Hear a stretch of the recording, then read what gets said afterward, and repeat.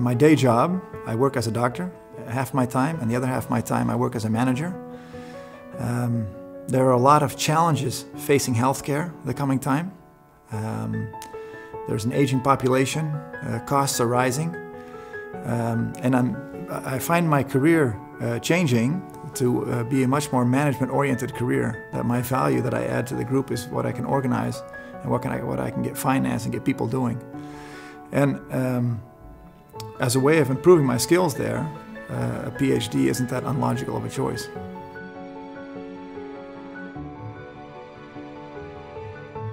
You can tell that somebody has uh, gone really far in marketing and somebody else has gone really far in private equity venture capital and somebody else is really far in, uh, in engineering or software. Uh, somebody's really far in, in uh, business administration. Um, it would be hard not to, to, to get good ideas uh, going forward.